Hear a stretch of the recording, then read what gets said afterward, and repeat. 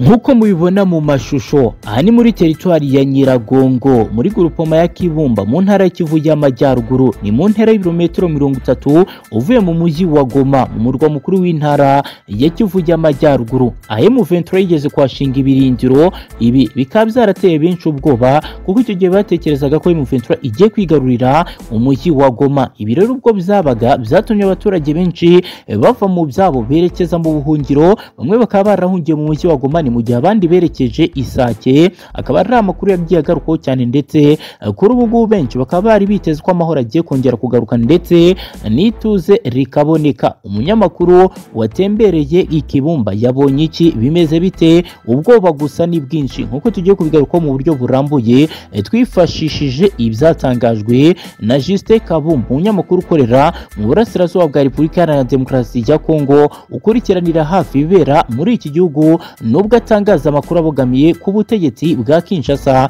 ariko tugiye kugaruka ku bikomeje kugenda bibera muri iki gihugu tubabwire bimwe mu byo abaturage bari gutangaza ndetse n'ibyo umunyamakuru yatangaje nyuma y'uko M23 itangaje ko urugendo rwo guhagarika imirwano rushobora guhagarara mu gihe leta ya Kinshasa yo nta kiri gukora ku bijyanye no kuba yakubahiriza ibikubiye mu masezerano y'u Rwanda mu Rangura yashyizweho umukono n'abakuru b'ibihugu ku itariki ya makumyabiri na gatatu Gushyingo bibiri na makumyabiri na kabiri amasezerano yasabye M23 guhagarika imirwano ikava mu bice byose yigaruriye igashyira hasi intwaro ndetse leta ya Kongo ikaba yarasabwe kuba itakomeza kugaba ibitero kuri M23 ndetse ikanategura ibiganiro bizaba nyuma y'uko M23 izaba yubahirije ibyo yasabwe. Umunyamakuru Justin Kabumba wageze aha ikibumba akaba yagize ati M23 yavuyemo.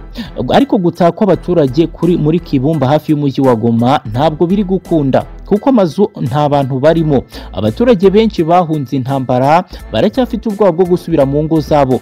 Nubwo bimeze gutyo ingabo z'akarere ka East African Community zo zoherejwe muri aka gace ariko abaturage banze gutaha. Ni mu gihe kandi umunyamakuru wigenga waganiriye n'abaturage bari batuye ikibumba batari gutaha bagize icyo batangaza nk'uko tugiye kubigaruka tukababwira ibyo batangaje. Bakaba bagiye bagaragaza ko impamvu batari gutaha ngo basubire mu ngo zabo basize ubwo imirwano yari iri kuba ari uko batizeye ko ikibazo cyakemutse. Bitewe n'uko kugeza ubu ngubu impande zirebwa no kubahiriza ibikubiye mu biganiro ndetse n'imyanzuro yafashwe bitari gushyirwa mu bikorwa. Bakaba rero bari gutekereza ko isaha iyo ari yo yose ibintu bishobora kudogera ndetse bikongera kuba bibi cyane bakongera bagahura n'akaga gakomeye cyane.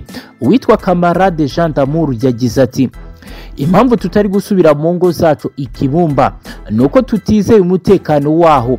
Twumvishe amakuru ko M23 ishobora kuba ihari kuko mu minsi ya vuba twumvishe ko habaye imirwano ikomeye yahuje inyeshyamba ndetse n'igisirikare cya leta FARDC ntabwo turizera ko umutekano wagarutse neza mu gihe kandi impande zirebwa no kubahiriza ibyatuma tugira amahoro zitari kubikora. Ni mu gihe kandi twumvishe ko M23 yatangaje ko itazakomeza kubahiriza ibyemezo byafashwe yonyine. Ibi rero ni byo byadukuye imitima dutekereza ko isaha iyo ari yose rushobora kongera kwambikana ugasanga noneho tubuze aho tunyura duhunga. Ibyatumye twe tutarizera ko twataha e, tugasubira mu byacu. Ni mu gihe witwa katotora jean batiste we yagize ati biragoye kwizera ko umutekano wagarutse.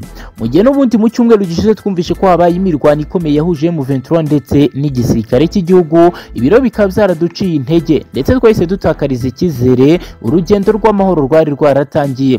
Niyo mpamvu ntabwo twigeze twizera ko twasubira mu ngo zacu ngo twongere dusubire mu mitungo yacu. Turasaba ko inzego zibishinzwe by'umwihariko guverinoma ya repubulika iharanira demokarasi ya kongo yashyira mu bikorwa ibyaganiriweho maze M23 ikemera gushyira hasi intwaro. Kuko iyi mirwano iri kuba usanga ibintu byakomeye. Hari abaturage bagenzi bacu bagiye bagwa mu mirwano gusa ibi byaduhaye isomo rikomeye. Ntabwo tuzongera gusubira ahantu hatari amahoro kuko iyo bikomeye kubona aho unyura uhunga biguteza ibyago bikomeye cyane. Ni mu gihe kandi undi witwa kawaida we yagize ati ibi bishobora kuba bigoye cyane kubyiyumvisha. Ntabwo numva ukuntu nasubira kibumba n'ukuntu nahavuye bingoye cyane. Kuri ubu ngubu ntabwo turizera umutekano nta nubwo turizera ko ibintu byasubiye mu buryo kuko impande zirebwa no kubahiriza ibyavuganywe zarinangiye ndetse nta kintu zirakora. Nihagira igikorwa tuzasubiraho nta kabuza. Ariko kugeza ubu ngubu ntabwo twajyayo kuko ubuzima buracyagoye ndetse ibintu biracyagaragara ko isaha iyo ari yose. Bishobora guhinduka bikaba bibi cyane. Rero ntabwo dushaka gutakaza ubuzima bwacu niyo mpamvu tuzaguma mu buhungiro. Gusa nubwo bimeze gutya abaturage ba repubulika iharanira demokarasi ya kongo bahunze imirwano bagahungira mu bice bitandukanye bigize intara ya kivu y'amajyaruguru bamaze igihe kinini batabaza bavuga ko nta bufasha bahabwa ndetse nta n'ikintu na gito leta ibamarira kuko kugeza ubu ngubu byagiye bigaragara ko abenshi mu bakurikiranira hafi ibera muri iki gihugu bagiye batabariza abaturage kuri leta ariko leta y'iki gihugu ikaba yarakomeje kugenda yinangira ndetse ntigire n'ubufasha iha abaturage. Ibintu benshi bagiye bavuga ko repubulika iharanira demokarasi ya kongo ikabije gutererana abenegihugu bayo.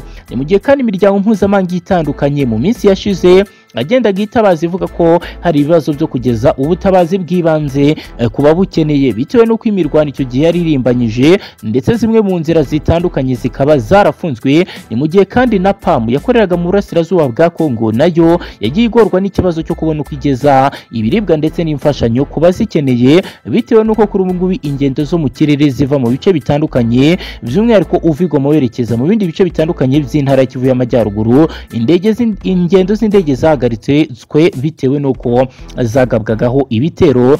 N'imitwe yitwaje intwaro ibintu bikomeje kugenda bigira ikibazo gikomeye biteza abaturage kandi bikaba bikomeje kugenda bituma ubuzima bw'abana bakiri bato bujya mu kaga aho imibereho mibi ndetse n'imirire mibi iri kugaragara ku bana bakiri munsi y'imyaka itanu. Ibi rero bikaba bikomeje kugenda bigira ingaruka zikomeye muri iki gihugu. Reka ngushimire wowe udahwema kubana natwe niba ari ubwa mbere udukurikira munsi ya videwo ukande kuri buto yanditseho ijambo subscribe maze wiyongere umuryango mugari w'abadahwema kubana natwe mu ruhererekane rw'amakuru ndetse n'ibindi biganiro bitandukanye.